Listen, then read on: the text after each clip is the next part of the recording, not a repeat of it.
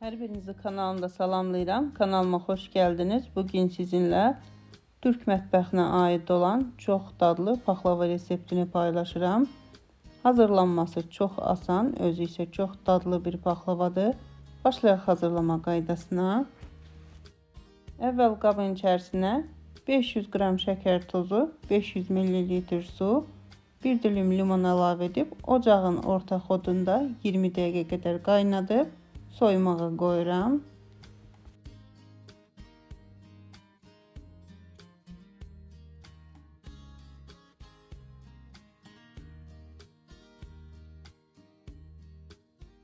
Yoğurma qabına 1 ədəd yumurta, 100 ml duru yağ, 100 qram qatıq əlavə edib qarışdırıram. Duru ərzaqlar yaxşı qarışdıqdan sonra üzərinə armud stəkanının ağzından 1 barmaq aşağı nişasta, yarım paket qabartma tozu, yarım çay qaşığı duz, 1 yemək qaşığı sirkə əlavə edib qarışdırıram. Alma sirkəsi, üzüm sirkəsi fərqi yoxdur. Sonra üzərinə 300 qram unu az-az əlavə edərək xəmir hazırlayıram. Yumurtanın böyüklüyündən, kiçikliyindən asılı olaraq ola bilsin ki, biraz az ya da biraz çox un istifadə olunar.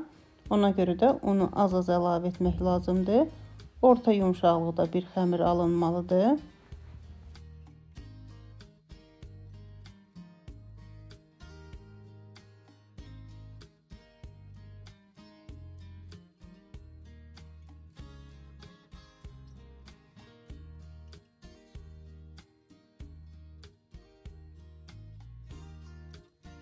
Hazır olan xəmirin üzərini örtüb otaq havasında 10 dəqiqə qədər gözlədirəm. İçlik olaraq 200 qram qoz ləpəsi götürmüşəm. 10 dəqiqə keçdi. Xəmirə süfrənin üzərində rulon şəkli verib 50 qramlıq kündələrə ayırıram. 12 ədəd kündə alınmalıdır.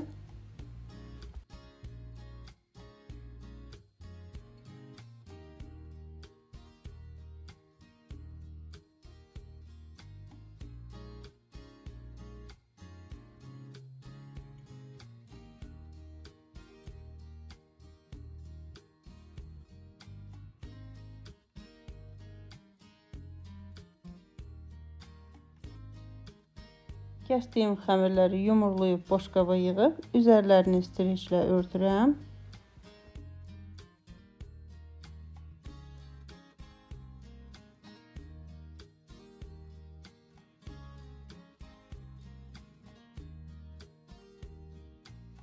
Kündələri yaymaq üçün qarğıdalı nişastasından istifadə edirəm. Kündədən bir dənəsini nişastaya batırıb, süfrənin üzərində boşqab boyda yayıb, bir-birinin üzərinə yığıram.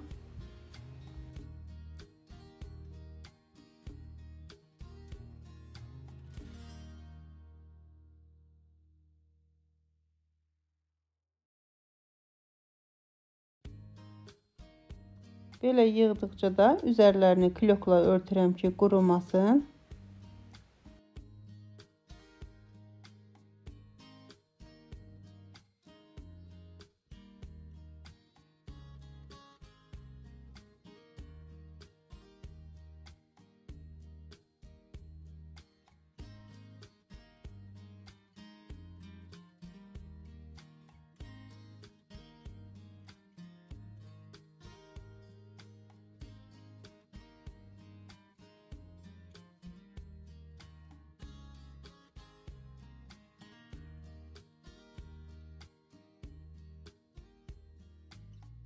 Bütün xəmirləri hazırlayıb yığdıqdan sonra əvvəl gördüyünüz bu qayda ilə əlimlə enlədirəm. Sonra süfrənin üzərinə boşaldıb oxlovla yayıb böyüdürəm.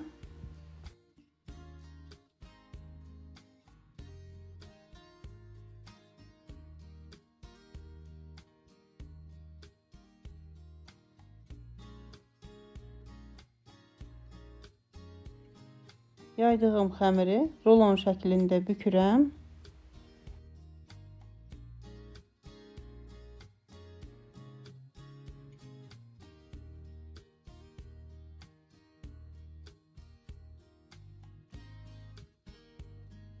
Xəmirə belə düzəlmiş verdikdən sonra iki hissəyə ayırıb kiçik barmağım naziklikdə kəsirəm.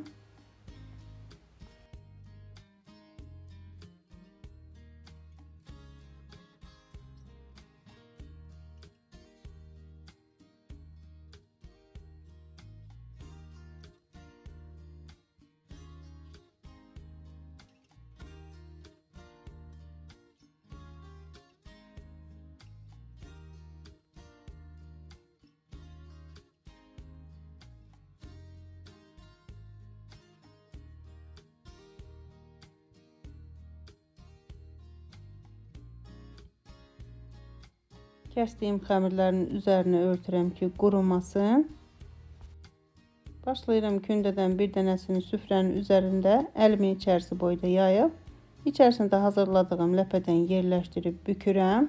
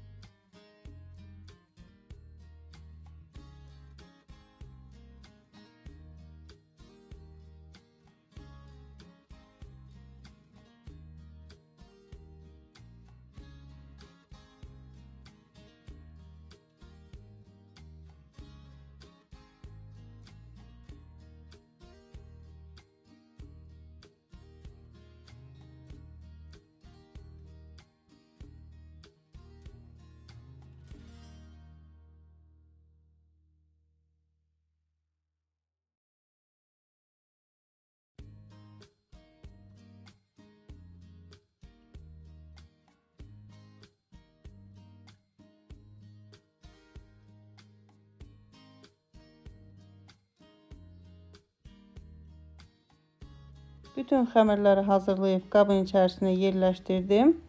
Üzərinə əlavə etmək üçün 150 qram kərə yağını ocaqda əridirəm qaynatmadan. Sonra otaq havasında gözlədirəm ki, süd dibinə çöküb, üzərindəki köpüyü qurusun. Üzərindəki köpüyünü süzgəclə bu şəkildə yığıb, yağın təmiz hissəsini paxlavaların üzərinə əlavə edirəm. Paxlavaları əvvəlcədən 150 dərəcə qızdırdığım sobada 1 saat, 1 saat 15 dəqiqə qədər bişirirəm. Asta xodda bişdikdə həm içərisi yaxşı bişir, həm də qatları yaxşı açılır.